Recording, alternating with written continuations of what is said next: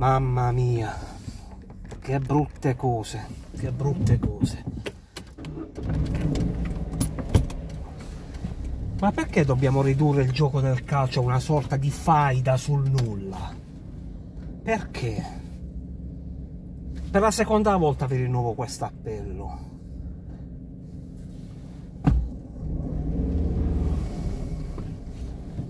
No, perché come non mi piacciono le stupidaggini su Allegri,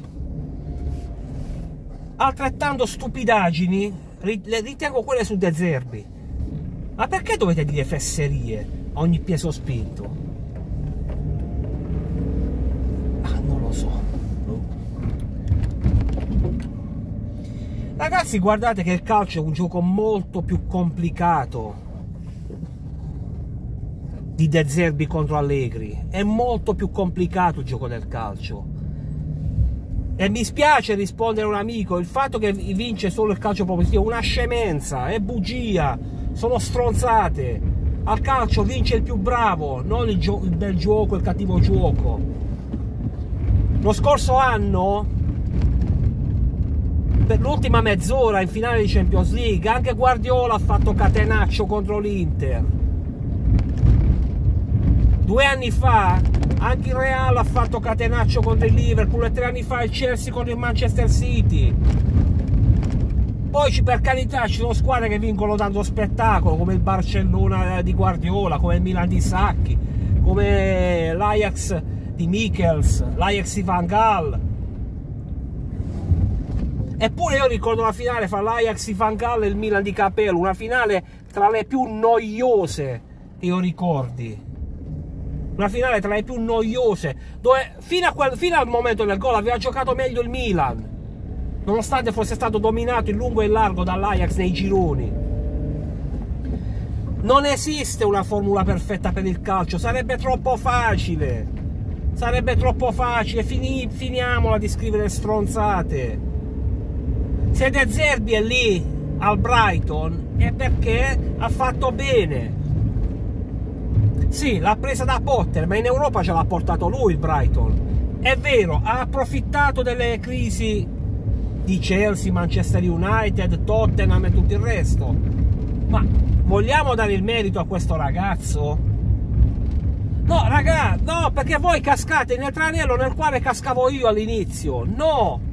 Non è che perché giustamente, come scrive qualcuno, qualche opinionista gli ha fatti pompini per andare contro un altro allenatore, usando De Zerbi per andare contro un altro allenatore o altri allenatori, non è che perché si è, stupidi, è stupido uno dobbiamo essere stupidi tutti. No, no. Io non festeggio la sconfitta di De Zerbi, assolutamente no. Perché non merita questo trattamento da parte dei media. No, da parte dei media, da parte dei social non merita questo trattamento De Zerbi, assolutamente no. Non è De Zerbi che, che si è proclamato Dio, è, quel, è qualcuno che gli lecca i piedi usandolo pro domo sua per purti portare avanti la sua teoria. Non è così. Non è De Zerbi che ha chiesto ad Adani di fargli i pompini. Poi è chiaro che i complimenti piacciono a tutti, interessati o meno, i complimenti piacciono. È chiaro ed evidente. Ma non è De Zerbi che li ha richiesti. Voi, come al solito, spostate l'obiettivo in un senso e nell'altro. Voi, come al solito, spostate l'obiettivo. Perché? Perché il calcio oramai è diventato una sorta di grande fratello. Siamo lì a spulciare le conferenze stampa, cosa ha detto, ma perché ha detto questo, ma perché ha detto quest'altro, come se uno in conferenza stampa ti dicesse tutta la verità, ma sono tutte scemenze, tutte scemenze, nessuna conferenza stampa vi dirà mai la verità, salvo rarissimi casi. Nessuna conferenza stampa vi diranno mai la verità e voi lì con lanternino a fare conferenze sul nulla, a fare video sul nulla, a fare polemiche sul nulla. No, non mi piace neanche questa crociata contro De Zerbi nel senso contrario, non mi piace. Non mi piace. Ve l'ho spiegato ieri il problema qual è. Non è De Zerbi che ha chiesto di essere celebrato, sono i media bastardi che da quando il suo Sassuolo pareggia in casa della Juve di Sarri, addio, è diventato Dio De Zerbi, è diventato. Perché non c'è equilibrio, invece De Zerbi stava già facendo bene a, Bene a Benevento.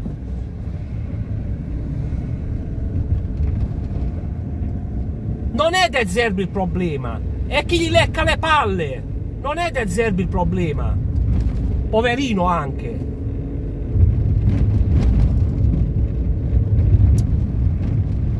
Ma tu guarda un po'.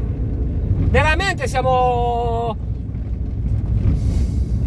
Guardate una mia teoria. Io avendo e trattando anche la politica, masticando un po' di politica, io ho una mia idea.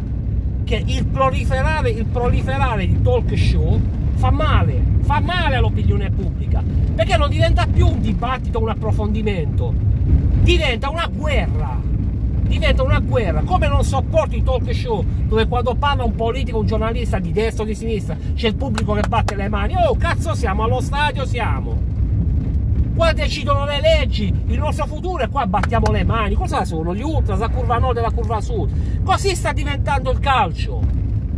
Gente che non ha mai visto un pallone in vita sua pontificare. E addetti ai lavori o ex giocatori completamente interessati a una loro tesi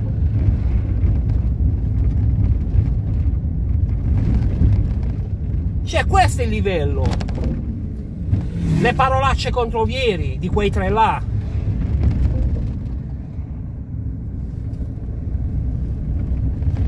Cioè qua stiamo scadendo un livello di ignoranza. Io capisco che ci fate visual, per chi è su YouTube. Capisco che ci fate visual. Ma francamente sono... Non fate altro che, altro che rendervi ridicoli voi stessi. Sono teorie asfittiche che non portano a nulla. Non aggiungono nulla al dibattito, alla crescita della cultura sportiva. Non aggiungono nulla. Né gli allegri out, né quelli che ridono su De Zerbi oggi. Ma cazzarola! Il calcio perché è bello? Perché non c'è spazio per i luoghi comuni.